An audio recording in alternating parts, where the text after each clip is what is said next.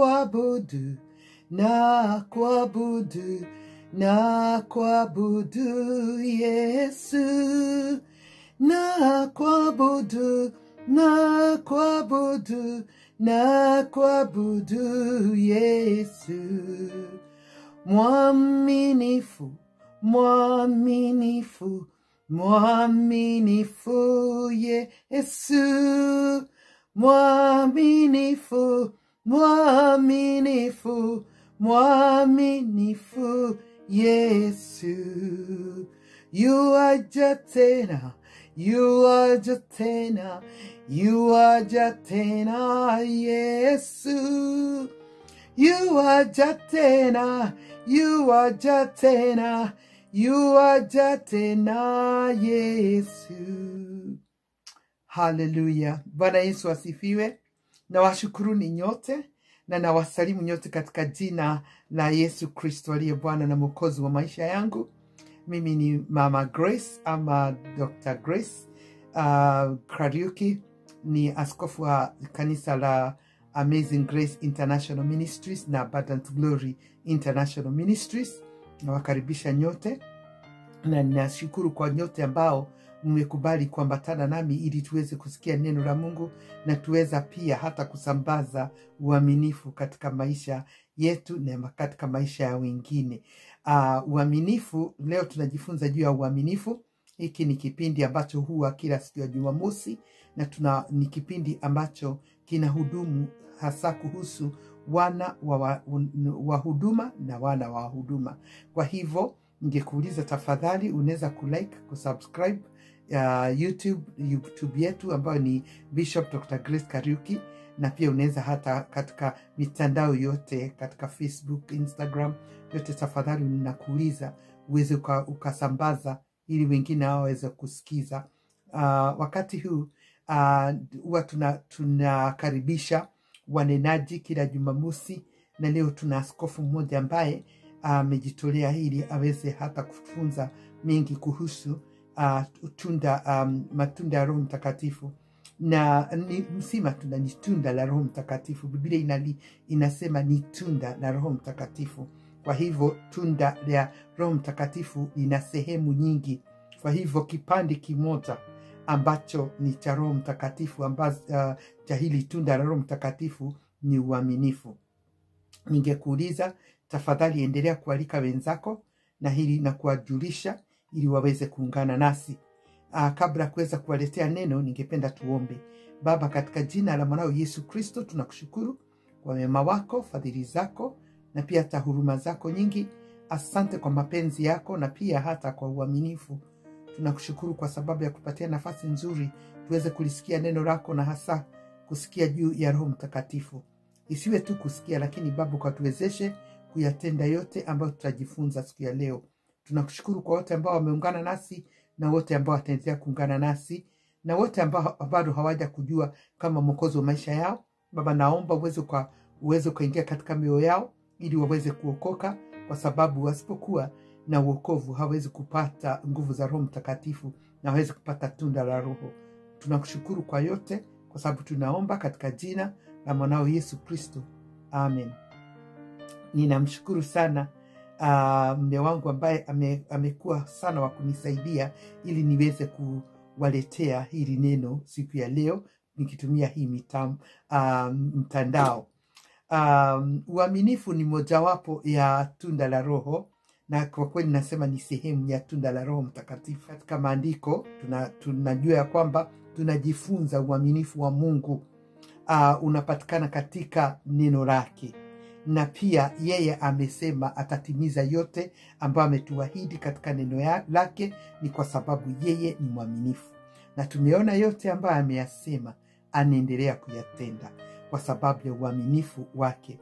Katika kumbukumbu kumbu la torati mlango wa saba mstari wa tisa inasema hivi basi ujue kwamba bwana mungu wako ndiye mungu ni mungu mwaminifu anayetunza agano la, uh, la upendo kwa maelfu ya vizazi vya wale wanaompenda na kuzishika amri zake. Kwa hivyo wale ambao wanazishika amri zake wale ambao wanampenda hujua ya kwamba kile ambacho mungu amesema atakitenda katika wale ambao wanamwamini ni lazima kitatendeka. Kwa hivyo tunazungumza juu ya mungu aliye mwaminifu na ambaye ana pia ana, anahitaji hata sisi nasi tuwe waaminifu. Isaia 55 mstari wa 11 inasema ndivyo litakavyokuwa neno langu litakalo litokalo katika kinywa changu halitanirudia bure bali litatimiza mapenzi yangu nalo litafanikiwa uh, katika mambo yale niliyolituma. Kwa hivyo bwana cho- chochote ikiwa ametuma neno lake ndio maana ni vizuri tuweze kulisoma kujifunza neno la mungu na pia hata kulinena neno la mungu. Ni kwa sababu tunapolinena lile neno ujue ya kwamba halitoki tu kwenye kinywa chako. Kin- linapotoka kwenye kinywa chako tayari limeshatoka kwenye mdomo wa mungu baba. Limeshatoka kwenye moyo wa mungu wetu. Na kwa hivyo lile neno ni vizuri. Ndio maana nafurahia siku, uh, siku hizi. Ni kwa sababu neno la mungu linaendelea kunenwa kila mahali. Na linapoendelea kusambazwa kila mahali ujue ya kwamba lilo neno likitoka ni lazima litekeleze kile ambacho mungu amesema. Ni kwa sababu mungu ni mwaminifu. Ujue ya kwamba kuna umuhimu wa um, uh, wa, uaminifu. Kunao watu ambao katika Biblia wame, tu, wa, wa, wamekuwa ni waaminifu katika Biblia, na mmoja wao ni yesu kristo mwana wa mungu. Na pia musa na paulo wamekuwa waaminifu katika, uh, katika neno. Ujue ya kwamba yesu alikuwa mwaminifu kwake yeye aliyemweka kama mungu naye uh, alivyokuwa katika nyumba yote ya mungu. Na musa kweli alikuwa mwaminifu katika nyumba yote ya mungu kama mtumishi. Kwa hivyo yesu alikuwa ni mwaminifu na musa pia naye alikuwa ni mwaminifu. Lakini hatuwezi kumlinganisha msa musa na, na musa na yesu kristo ni kwa sababu yesu kristo alikuwa mwaminifu toka mwanzo hadi mwisho bila hata kutenda kutenda hata dhambi. Musa hata ikiwa kuna mambo yaliyotendeka ambayo hayakuwa mazuri eh, bado aliendelea kuwa mwaminifu mpaka akaweza kuwaondoa kutumika na mwenyezi mungu ili watu wa watu ambao uh, walikuwa watumwa wakaweza kutolewa kwenye utumwa wakapelekwa katika nchi ya ahadi kwa sababu mungu tayari alikuwa amewaahidia atawapeleka katika nchi ya ahadi. Na kwa sababu musa alikubali kutumika na mwenyezi mungu na akakubali pia kumwamini mungu na kuwa mwaminifu kwa yote ambayo mungu anayasema akaweza kufanya ile kazi hata ingawa hakuingia katika ile ule uh, mahali ambapo mungu alikuwa amewaahidia aliweza kuwa pamoja na mungu baba. Haleluya kwa hivyo ujue ya kwamba katika eh, timotheo wa kwanza mlango wa kwanza kumi na mbili ina, inasema juu ya inatuambia juu ya mtume paulo. Alikuwa ni mwaminifu ndio maana ame, um, a, ameandika akasema nitamshukuru kristo bwana wetu aliyenitia nguvu kwa sababu alin, aliniona kuwa mwaminifu akaniweka katika utumishi wake. Bwana yesu asifiwe. Kwa hivyo mwenyezi mungu ni mwaminifu na ataendelea kuwa mwaminifu. Paulo pia alikuwa mwaminifu musa naye amekuwa mwaminifu na yesu kristo ameshakuwa mwaminifu. Tutaendelea baada ya kumsikiza mnenaji wa siku ya leo naye ni askofu charles melio wa kutoka pale kanisa la shekania pentecosto pale kiserian uh, nchi ya kenya. Karibu sana mtumishi wa mungu na bwana akubariki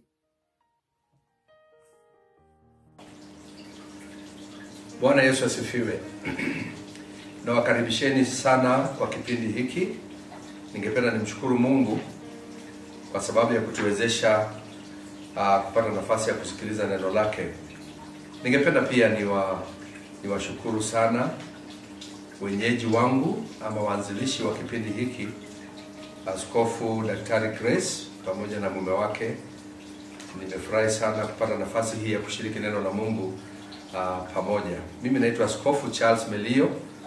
Uh, niko hapa Kenya, nasimamia kanisa la Shekaina Pentecostal Church na namshukuru Mungu sana eh, kwa nafasi hii. Ningependa moja kwa moja nisome neno la Mungu kutoka kitabu cha Wagalatia sura ile ya tano kuanzia mstari wa 22 hadi 23.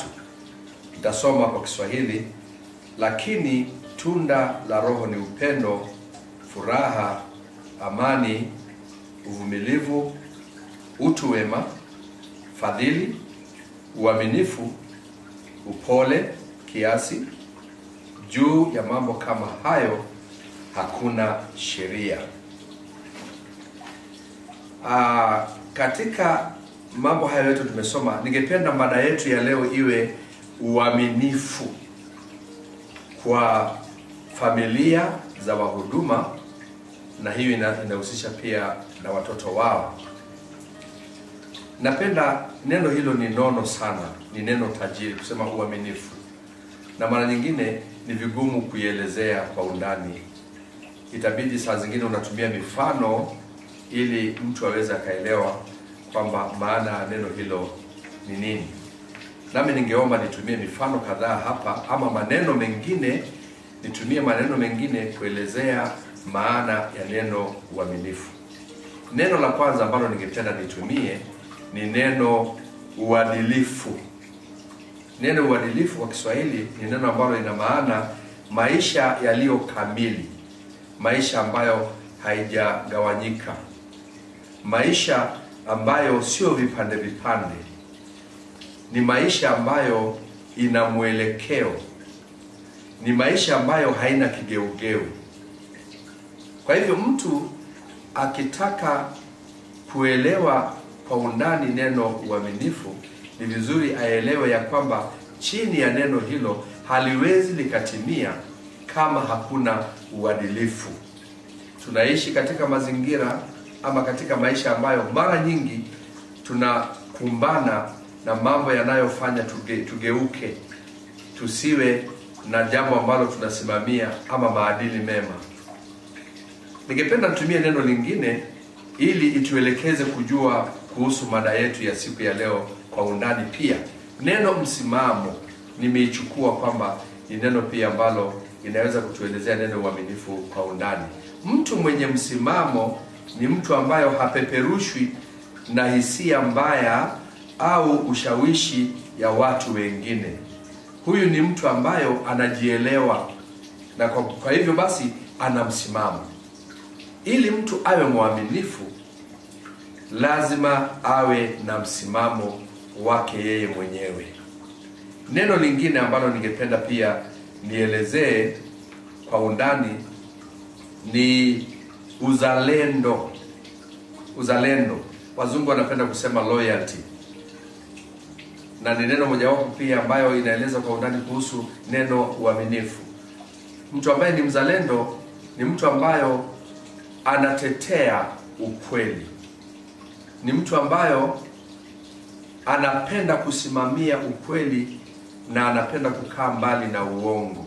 Huyo ni mzalendo, na uzalendo inachangia kuelewa ya kwamba uaminifu ni nini. Neno lingine ambalo ningependa kuelezea kwa undani, itakayo kwa ujumla kufanya tuelewe uaminifu ni nini, ni mtu anayetegemewa.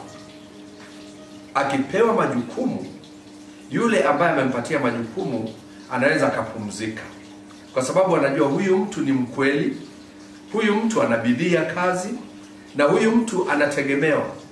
Hawezi akasimamia vitu vibaya, hawezi akaiba. Kwa hiyo kwa jumla ni mwaminifu kwa sababu ni mtu anayetegemewa. Mfano unaokuja kwa mawazo yangu sasa hivi nikisoma hadithi ya huyu kijana anayeitwa Yusufu, wakati ambapo aliajiriwa kazi na Potifa. Biblia inasema ya kwamba alipewa majukumu ya kusimamia mali ya Potifa na unaposoma Biblia pale inasema Potifa alipopatiana kazi ile, yeye alipumzika, na kila wakati akitaka apewe ripoti kuhusu ile majukumu ambaye alipeana, anakuta ya kwamba kazi imefanywa vizuri, imefanywa na bidii. Hata Biblia ina, ina, ina, inaandika kwamba akapata faida wakati Yusufu akifanya kazi pale kwake nyumbani na kusimamia biashara zake yule Potifa alipata faida kwa sababu huyu kijana aliyekuwa anaitwa Yusufu alikuwa ni mtu ambaye anategemewa. Kwa hivyo kwa kwa kwa, kwa, kwa marefu tunasema ni mtu mwaminifu maana anaweza akategemewa neno lingine ambalo lina maana sana tunapoendelea kufafanua neno hili ambaye ni mada yetu kuu siku ya leo ya uaminifu kwa watumishi wa mungu pamoja na watoto wao ni neno ili ambalo tunasema usimamizi bora wa rasilimali ambayo tumepewa na mungu. Pia neno rasilimali tunapopewa kusimamia rasilimali rasilimali unaweza ukasema ya kwamba inaweza kuwa kwamba ni pesa ama hela ambazo imepitia mikononi mwetu. Katikati ya huduma kuna mambo ya kuchanga pale kanisani ama hata kama sio kanisani lakini miradi tofauti ambayo inasimamiwa na kanisa na sisi kama watumishi wa mungu ama watoto ama familia ya watumishi wa mungu mara kwa mara unajikuta wewe umepewa majukumu ya kusimamia miradi kama hizo. Kwa hivyo neno rasilimali inaweza ikasimamia e, pesa inaweza pia ikasimamia ile masaa ama muda ambaye mungu ametupatia. Kama hatuwezi kuwa wasimamizi bora wa masaa ambaye mungu ametupatia inawezekana tutoe hesabu siku moja kwa sababu haya masaa kama tungetumia vizuri kulingana na vile mungu ametubariki na afya na, na muda wa kumfanyia kazi ama kuwafanyia watu wengine kazi basi tungeweza kuwa na faida kubwa sana. Neno hiyo rasilimali pia naweza nikasema ya kwamba inaweza kusimamia vipaji ama talanta talanta ambazo mungu ametupatia ambazo ambazo sio zetu. Ukisoma kitabu cha zaburi 24 kuanzia mstari wa kwanza inatuonyesha waziwazi ya kwamba mali zote ni za mungu. Mungu ndiye mmiliki mkubwa wa rasilimali ambazo ni zetu ametupatia ama zinapitia mikononi mwetu ili tuweze tukafanya huduma. Kwa hivyo sisi ni wasimamizi wa mali ambayo ina yule mtu ambaye anamiliki. Na mungu mwenyewe ndiyo anamiliki mali zote. Hata sisi na, na, na ile rasilimali ambayo ametupatia sisi pia ni wasimamizi wa mali kama hizo. Kwa hivyo uh, uaminifu inahitajika ili usimamizi wa mali ile iweze ikaenenda kulingana na vile mungu anavyotazamia na vile mungu anavyotaka. Nina furaha sana kuleta ujumbe huu ya kwamba tunahitaji katika maisha yetu haya sasa hivi tunahitaji sana usimamizi bora wa rasilimali ya mungu. Kwa sababu tunaishi katika kipindi ambacho uh, ufisadi imezidi. Na jambo la kushangaza sio tu katika nyanja za serikali ama katika e, makundi mengine ambayo sio ya kanisani. Inashangaza sana kusema hata kanisani tumesikia na tunaona ya kwamba hata ufisadi pia ime, ime, imefika kanisani. Mungu atuhurumia sana. Mkono mrefu hiyo haitokani na mapenzi ya mungu.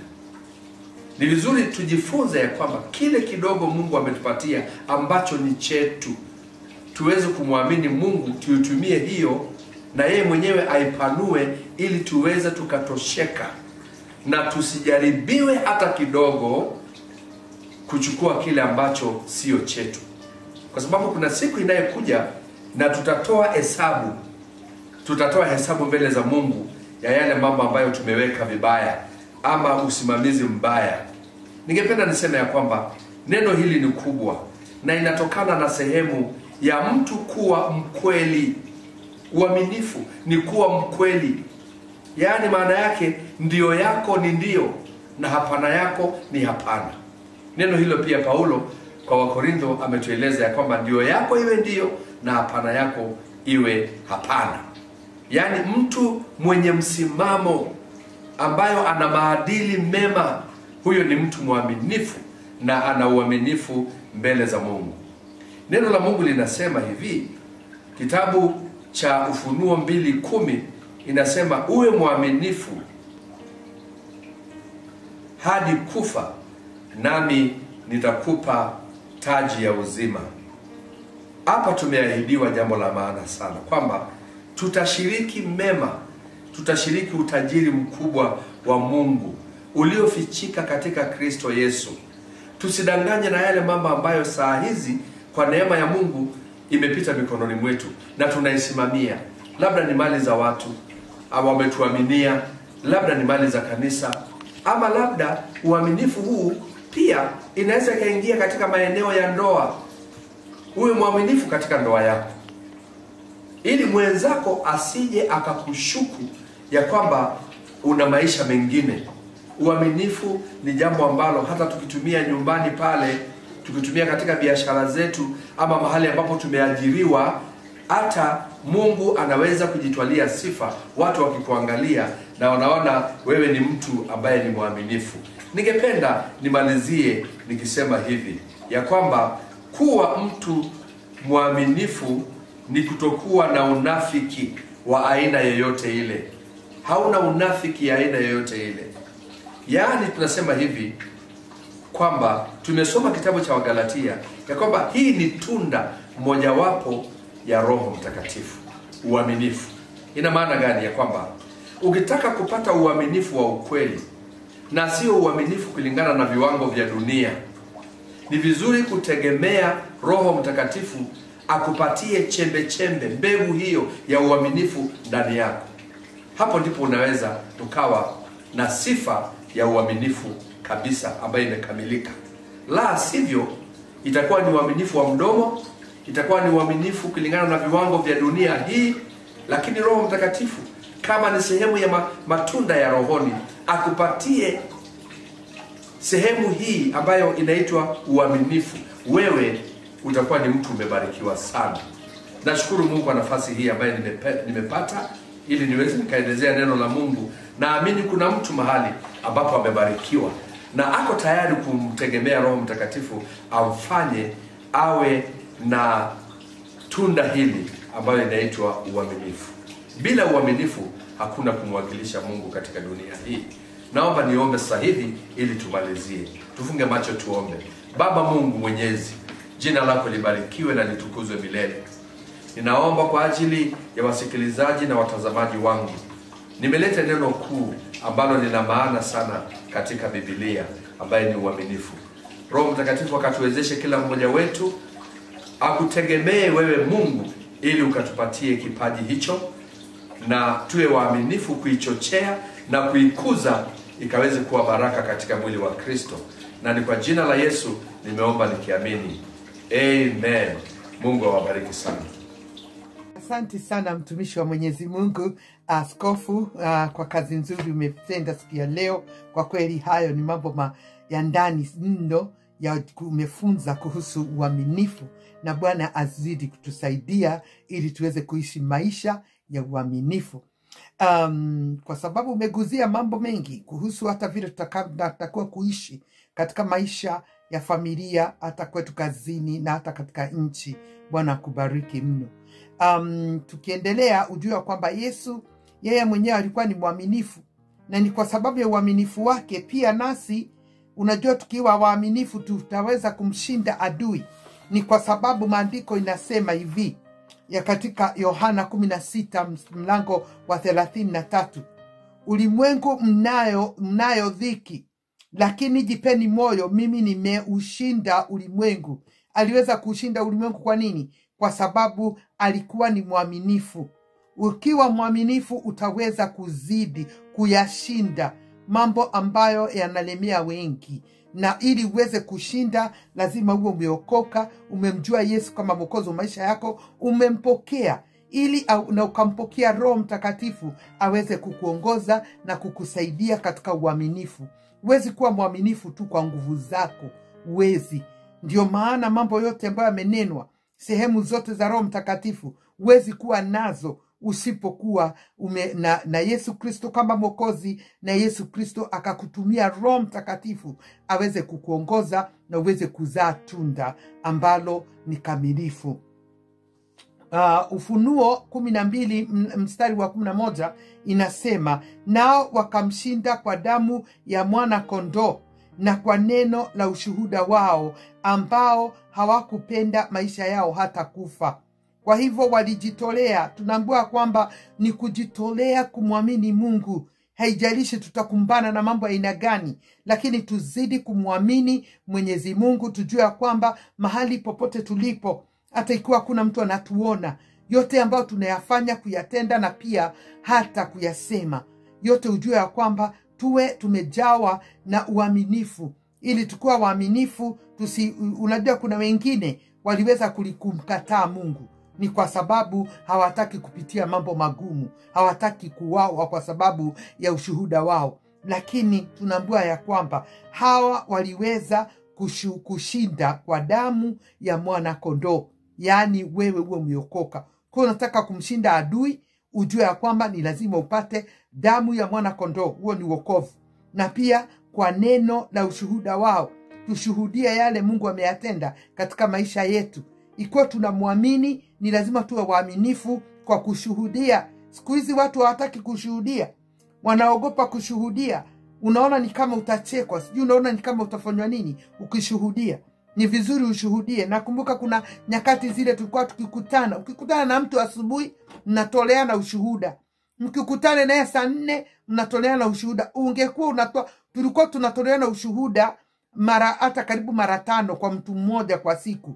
Ni kwa nini? Ni kwa sababu katika ule utoaji wa ushuhuda tukiwa waaminifu kwa sababu tuna tunaonyesha imani yetu katika bwana. Tunamwamini mungu ndio maana tunanena hatuchoki kunena juu yake hatuchoki kutoa ushuhuda.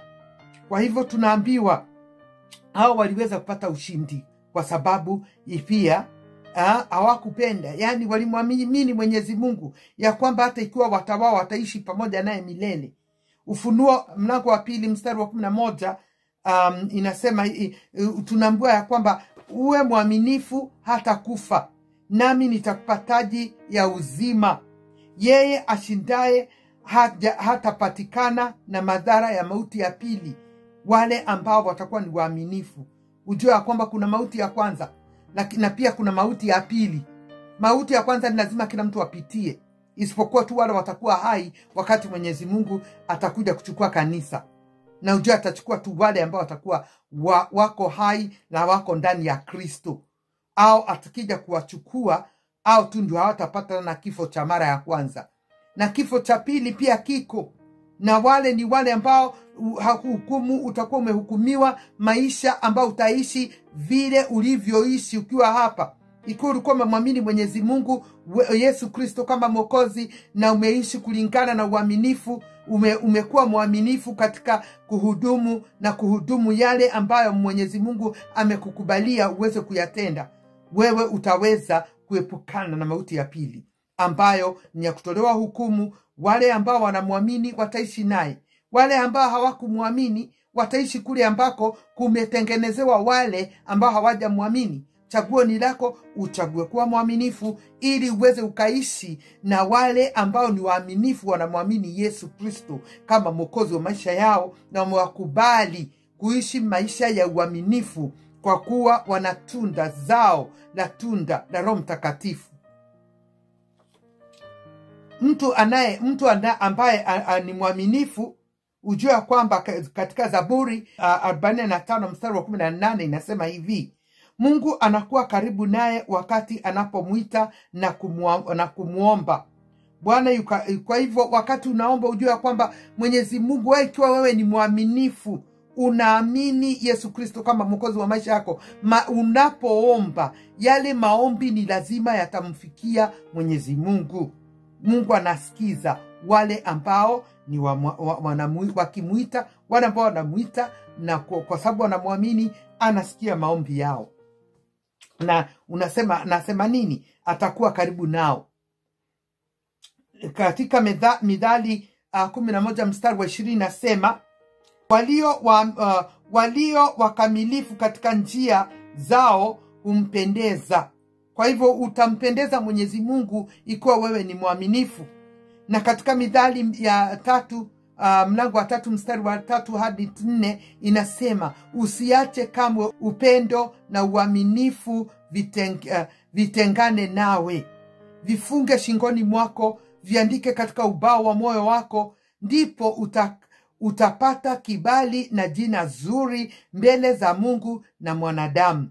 Ikiwa unataka jina nzuri ujue ya kwamba mbele ya mungu na mbele ya wanadamu ni wewe uwe usiache upendo na uaminifu ziachane. Ni lazima ziwe pamoja. Na kwa kweli hebu nikwambie lile tunda la roho mtakatifu vina hivi vipande vyote. Na ujue kipande kimoja ikiwa hakiko ujue si kamili. Tunda lenyewe si kamili ni lazima tunda lenyewe liweze kukamilika na utaweza kuishi maisha ambayo yatampendeza mwenyezi mungu. Ikiwa wewe hautaacha upendo na hata vipande vile vingine vyote vitengane usiache uaminifu itengane na upendo utabarikiwa. Kisha katika methali uh, ishirini uh, mlango uh, mstari wa sita inasema mwenye haki aendaye katika unyofu yaani uaminifu wake watoto wake wabarikiwa wa, wa baada yake. Kwa hivyo ujua wewe ukiishi maisha ya uaminifu watoto wako pia. Kama utakuwa hai ama utakuwa hai watoto wako watazidi kubarikiwa kwa sababu ya uaminifu wako. Hilo ni ahadi mungu ametoa na kwa sababu yeye ni mwaminifu tuishi tukuwa waaminifu ili mwenyezi mungu aendelee kuwatunza hata watoto wetu waendelee kubarikiwa nikikamilisha nitasema hivi katika uh, midhali ishirini mstari wa, wa ishirini nasema hivi ishirini na nane mstari wa ishirini nasema mtu mwaminifu atakuwa na baraka tele. Hilo ni hiyo ni bibilia inasema. Wewe kuwa mwaminifu ikiwa unataka baraka baraka utaomba baraka. Baraka kushinda ukienda kila wakati unapiga magoti ama kila wakati unapoitana unataka tu kuitisha tu baraka. Uhitaji kuitisha baraka. Wewe tu kuwa mwaminifu na utaona baraka zikiwa kwako na zikijaa kwako zitakuwa ni tele. Hadi watu waliobarikiwa watakuita umebarikiwa kwa sababu umeishi maisha ya uaminifu. Wa bwana akubariki sana wakati unazidi kuwa mwaminifu na uzidi ku, u, uzidi kukomaa katika uaminifu na usambaze pia uaminifu. Na bwana atakubariki. Asante sana kwa kunisikiza siku ya leo. Tafadhali endelea kuingia kwenye mtandao wetu na katika website yetu www.agracem.org na uweze kuwakaribisha wengine ili waweze kulisikiza hili neno na waweze kujifunza juu ya uaminifu. Namshukuru sana mnenaji wa siku ya leo askofu melio na pia wote ambao mmeweza kuungana pamoja nasi na wale wamezidi hata kusambaza ili wengine waweze kusikiza na pia kusubscribe kwa youtube yetu ili bwana azidi kuwabariki na hata kuwainua tuombe. Asante mungu wetu katika jina la yesu kristo. Tunakushukuru kwa kutupa nafasi nzuri siku ya leo. Tuweze kulisikia neno lako. Zidi kutubariki na wale bado hawajaokoka mungu wetu. Tunakuomba ukawao ukawabariki na pia wakaokoke ili waweze kuishi maisha ya uaminifu. Tunakushukuru kwa yote ambayo yanatendeka kwa mtu ambaye ameamini. Tutazidi kukugoja tutazidi kutamani kuishi tukiwa waaminifu ili baraka hizi ambazo zimenenwa katika neno lako ziweze kuambatana nasi. Tunakushukuru kwa yote na kushukuru kwa wote ambao mfalme wamesimama nasi hata fundi wa mitambo na wote ambao wamehusika. Uzidi kuwabariki. Tunaomba katika jina la yesu kristo ndiye mkombozi wetu. Amen. Bwana yesu akubariki sana. Wakati unazidi hata kumruhusu mungu azidi kukuinua na kukutenda mambo mema na mambo makuu. Ubarikiwe sana. Ujua kwamba kila jumamosi tukutane nawe. Na ikiwa hujasikiza kipindi chetu ambacho kilisalia pa, kili, kilikuwa pale mbeleni ambacho ni cha kiingereza tafadhali iweze kuingia pale pia usikize na usikize hata vipindi vingine. Katika youtube yetu utavipata vile vipindi vyote na pia katika website yetu utapata yote ambayo yanatendeka na utaweza kukushirikiana nasi katika kufanya kazi ya mungu. Na bwana atakubariki uweze kuisapoti hii kazi na bwana naye aweze kukubariki na kukudumisha. Asanteni nyote. Mungu awatende mema na awabariki. Asanteni